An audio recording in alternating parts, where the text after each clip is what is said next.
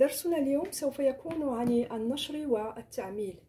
لفهم هذه هاتين العمليتين سوف ننجز بعض الأمثلة. مثلا نبدأ أولا بالنشر. عندي A تساوي 3 x في x زائد 4 وطلب مني أن أنشر هذه العملية. ماذا أعمل؟ سوف نقوم بضرب 3x في x ثم 3x في 4 3x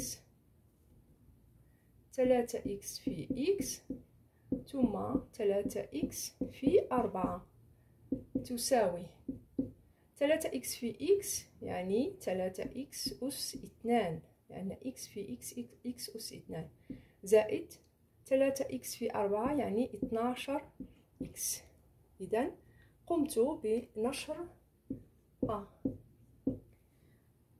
آه، ممكن أن نأخذ مثال ثاني.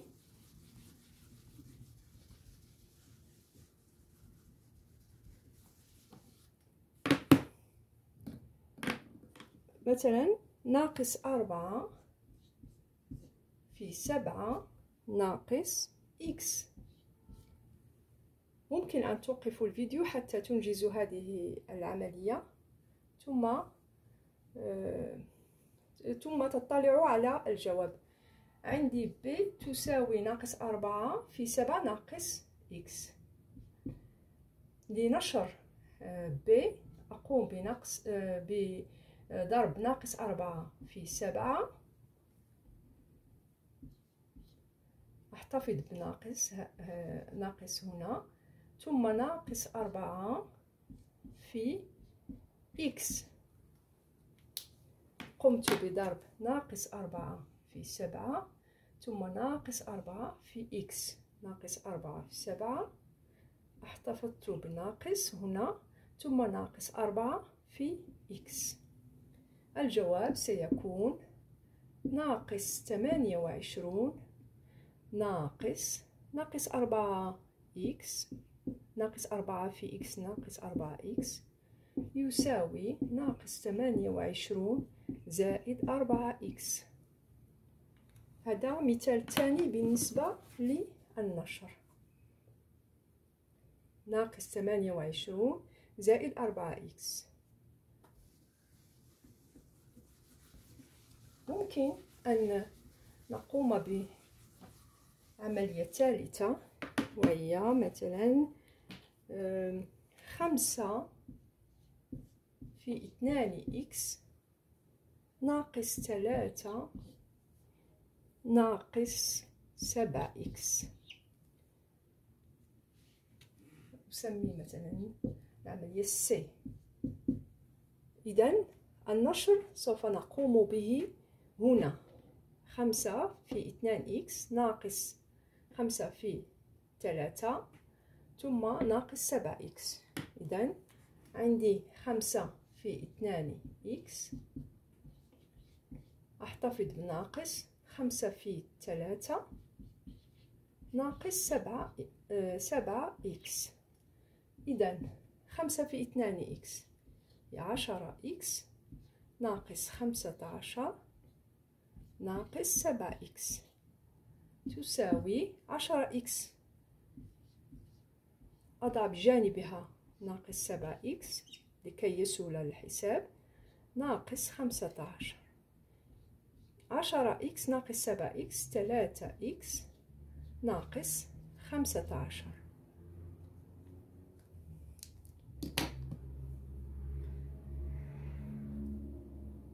س تساوي ثلاثة إكس ناقص خمسة عشر. ممكن أن نكتب مباشرة دون كتابة هذا السطر. مباشرة ونفس الشيء هذا السطر ممكن أن نكتب مباشرة خمسة في اثنان إكس عشرة إكس ناقص خمسة في ثلاثة خمسة عشر ناقص سبعة إكس. عشرة إكس ناقص سبعة إكس تعطيني ثلاثة إكس ناقص خمسة عشر. هذا هو الجواب للسي. الآن نمر إلى التعميل. التعميل هو أن نجد عامل مشترك.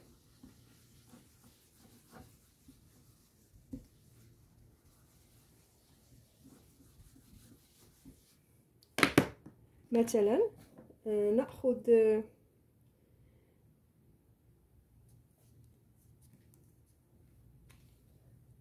عندي مثلا أ تساوي آه، خمسة إكس ناقص إكس وطلب منا أن نعمل هذه العملية.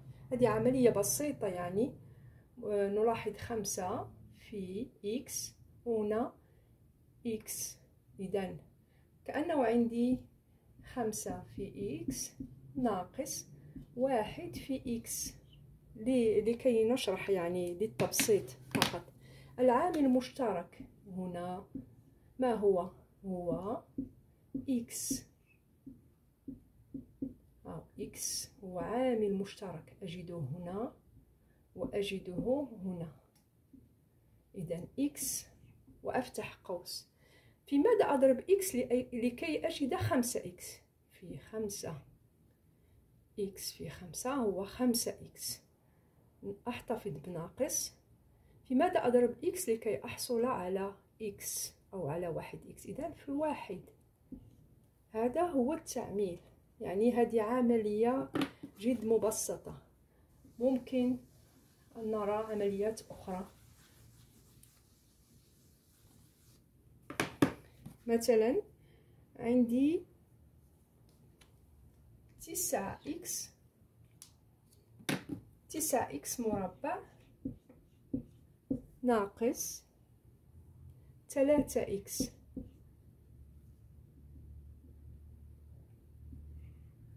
ما هو العامل المشترك هنا؟ نسميها ب.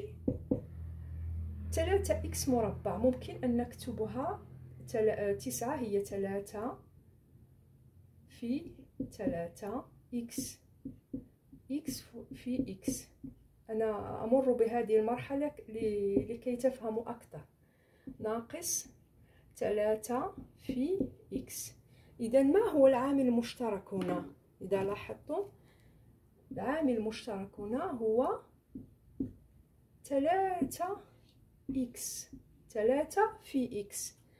ممكن الاستغناء على عملية الضرب أكتب مباشرة ثلاثة إكس لأنها جاءت قبل حرف حرف اللي هو إكس. إذا ثلاثة إكس وأفتح القوس. ثلاثة إكس. في ماذا أضربها لكي أحصل على آه، تسعة إكس مربع؟ أضربها آه، ثلاثة إكس بقي عندي هنا ثلاثة وبقي عندي هنا ضرب إكس ناقص. عندي ثلاثة إكس كأنه واحد في ثلاثة إكس إذا عندي ثلاثة إكس باقي عندي هنا واحد. وهذا هو التعميل بالنسبة لب. ممكن أن نرى عمليات آه، أخرى يعني أصعب آه، من الأمثلة التي رأيناها اليوم. إن شاء الله. والسلام عليكم.